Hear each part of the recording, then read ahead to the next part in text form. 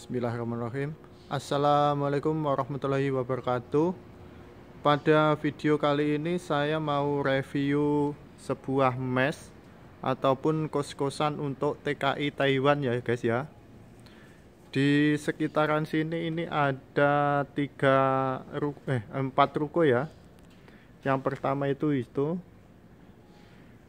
Dan yang kedua ini yang ketiga dan di ujung sana itu ada satu lagi. Untuk itu mari kita lihat seperti apa dalamnya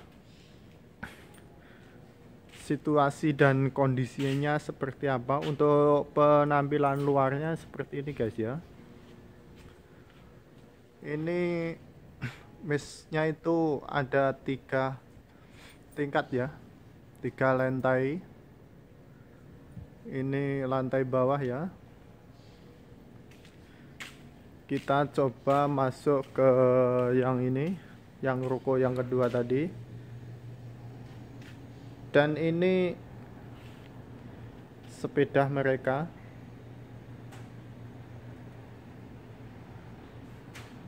Biasanya nggak terlalu dipakai untuk sekarang-sekarang ini ya. Biasanya mereka itu kebanyakan tuh banyak pakai sepeda listrik ataupun motor ya.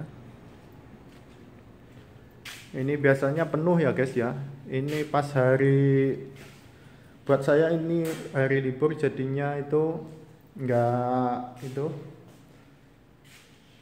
agak sepi gitu. Enggak ada motor diparkir di sini ya.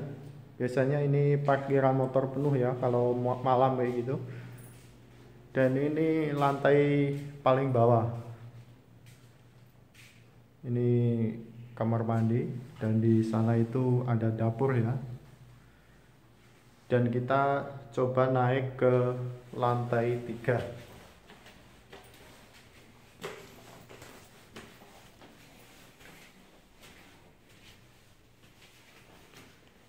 Dan ini lantai dua ya.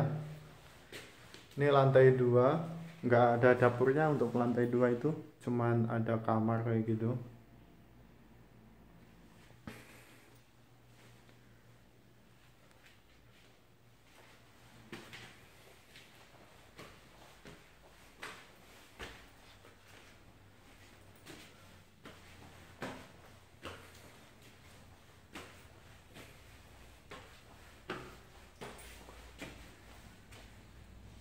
ini saya udah berdiri di lantai tiga itu ataupun di lantai paling atas.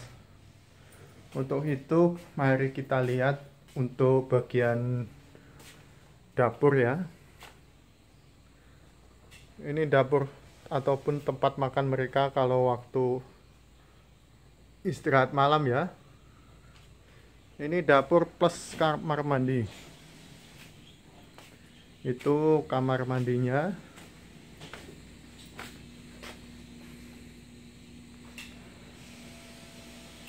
Ini untuk cuci-cuci piring. Ataupun nyuci juga bisa itu ada yang rendam itu rendam baju. Dan mereka juga jemur bajunya di sini ya. Tuh. Lihat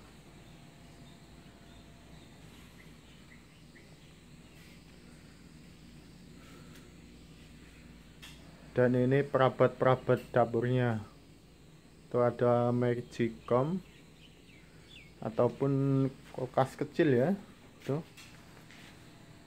ataupun lemari untuk menyimpan apa-apa kayak gitu makanan apa apa kayak gitu.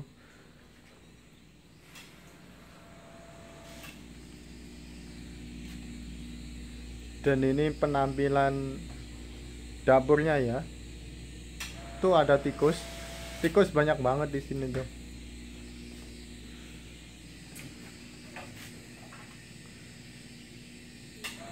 seperti ini guys ya. Dapurnya seperti ini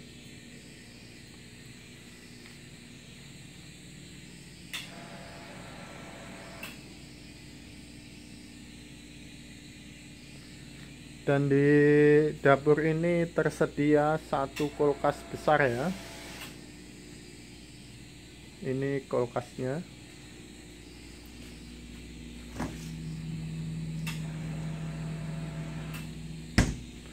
Dan ada lemari ya.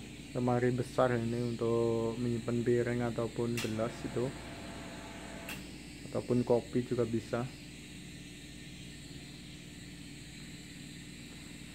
mereka kalau pulang kerja ataupun untuk memasak itu mereka di sini ya. Dan mari kita lihat untuk bagian kamar mereka ataupun tempat tidur mereka ya.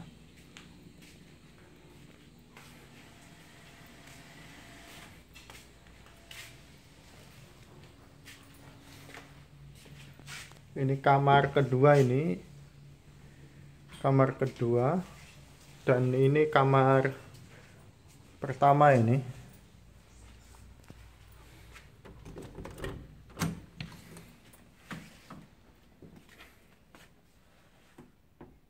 Untuk kamarnya seperti ini guys ya. Kamarnya ada ranjang. Biasanya ranjangnya itu bertingkat ya. Jadinya itu ranjang bertingkat ini untuk dua orang. Dan ini kebetulan nggak ada orangnya ataupun udah pindah ataupun udah pulang. Ini lagi kosong dan di sini dipasangi ordeng ya. Biar mereka itu ada privasi-privasi kayak gitu jadinya dikasih kelambu kayak gitu ataupun ordeng ya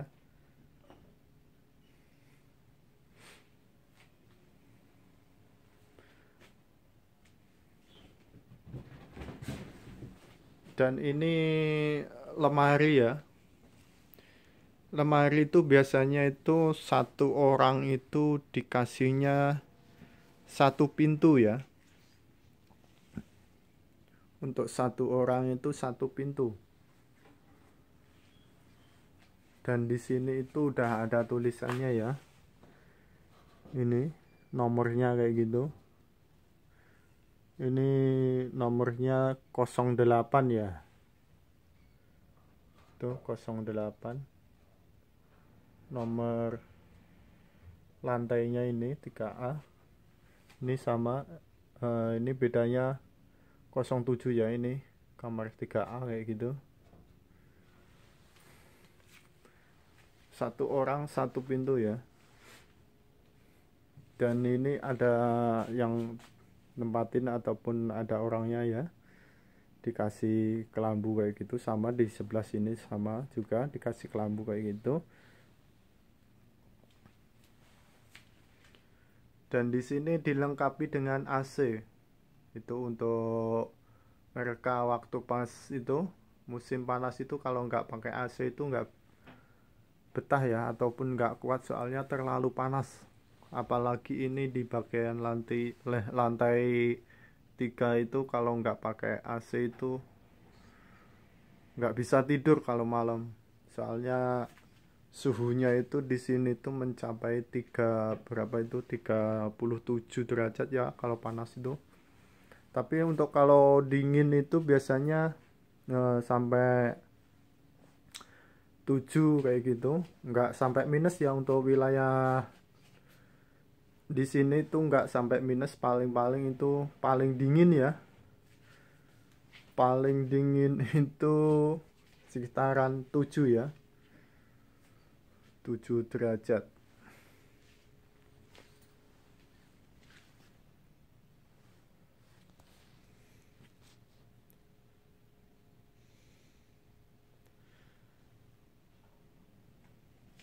yang mereka yang belum tahu ataupun mereka yang mau berangkat ke Taiwan coba lihat video ini. Dan ini udah rata-rata. Untuk bagian mesnya itu udah rata-rata ya. Kondisi dan situasinya seperti ini. Nanti nyampe sini jangan kaget. Karena dari Indo itu e, ngomongnya emes emes itu kalau di pikiran kita ataupun di benak kita itu kalau nggak tahu itu bakalan bagus. Tapi ternyata nyampe sini ya kondisi dan situasinya ya seperti ini. Dan ini semuanya kurang lebih ya. Kurang lebih seperti ini. Kita dari Indo itu modal modal nggak sedikit ya. Modalnya banyak.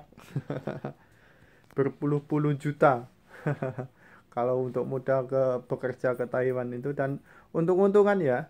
Hmm, ada juga yang mes yang bagus atau ada juga kayak gitu. Tergantung rezeki kita ya. Ataupun kita itu dapat pabrik yang bagus ataupun yang jelek gitu. Nggak pasti ya nggak tentu ya. Nasib orang itu beda-beda. Tergantung amal dan perbuatan Oke kawan, saya rasa videonya cukup sampai di sini ya. Ikuti terus video-video saya selanjutnya. Oke, akhir kata, wassalamualaikum warahmatullahi wabarakatuh.